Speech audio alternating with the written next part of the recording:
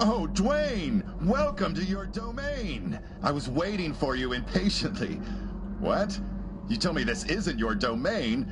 Nonsense! It's the fruit of your hard labor. Can't you see how everyone enjoys their time here? It's all thanks to you they have this newfound home. How fulfilled they all seem. Some of them might look a little lost, I concur, but what of it? They have a place to be for all of eternity. How delightful for them, courtesy of Dwayne Anderson. the dead will whisper tales of your achievements, and you will be remembered forever. Now, now, up you go, chap. Go have a look at your masterpiece.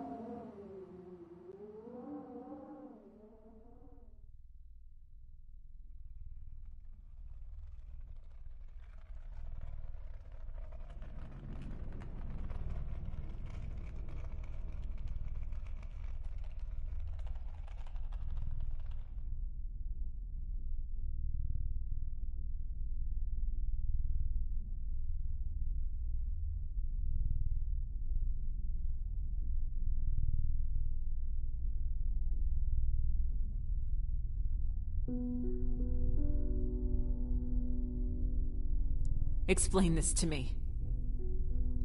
Please talk to me. I love you, Dwayne. I want to help you. First the alcohol and now this? Who prescribed you this and why? I want to know so I can help you through it. Are you slowly going insane, Dwayne? Should we be worried because we are? Recently, you've been scaring everyone with your cold indifference.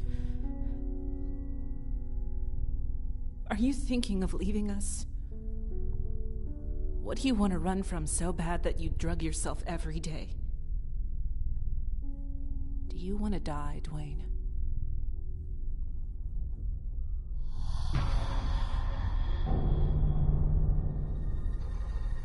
I could help you with that, you know?